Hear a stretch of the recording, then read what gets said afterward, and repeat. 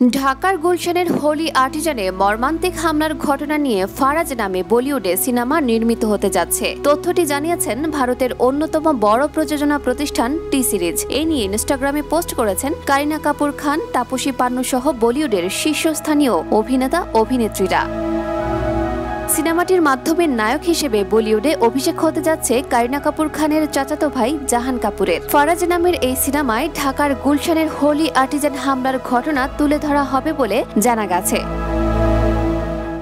Photo ও video sharing site ইনস্টাগ্রামে এ তথ্য জানিয়েছেন কারিনা। একটি ছোট্ট ভিডিও ক্লিপ প্রকাশ করে কারিনা লিখেছেন, যখন রাত অন্ধকার হয়, আশা আরও উজ্জ্বল হয়। ফারাজ সিনেমার ফার্স্ট লুক। এটি বাংলাদেশের দু হাজার ষোলো সালের ঘটনা নিয়ে তৈরি হচ্ছে। একজন সত্যিকার নায়ক যার সত্য ঘটনা মানবতার প্রতি বিশ্বাস জাগাবে, এটি নির্মাণ করবেন অনুভব সিনহা, হেলশান মেহতা ও ভূষণ কুমার। চাচাতো ভাই জাহান কাপুরকে নিয়ে কারিনা লিখেছেন, জাহান কাপুর তোমাকে নিয়ে অনেক গর্বিত। তোমাকে বড় পর্দায় দেখার তর সইছে না।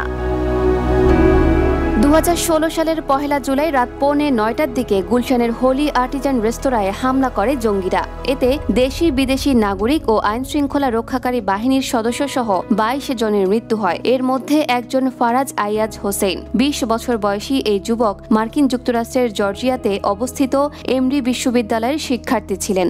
ঘটনার সময় ছুটিতে ঢাকায় অবস্থান করছিলেন তিনি। হামলার সময় তাকে সন্ত্রাসীরা প্রথমে ছেড়ে দিতে চেয়েছিল, কিন্তু তিনি তার দুই বান্ধবীকে ছাড়া রেস্তোরাঁ ছেড়ে আসতে চাননি। হোলি আর্টিসানের জঙ্গি হামলায় বীরত্বপূর্ণ আচরণের জন্য ফারাজ আয়াজ হোসেনকে Mother Teresa Memorial International Award প্রদান করা হয়েছে। ঢাকার এই আলোচিত হামলা নিয়ে বাংলাদেশ, ভারত ও জার্মানির যৌথ প্রযোজনায় শনিবার বিকেল শিরোনামে একটি সিনেমা নির্মাণ করেছেন খ্যাতিনামা নির্মাতা মোস্তফা সারওয়ার ফারুকি।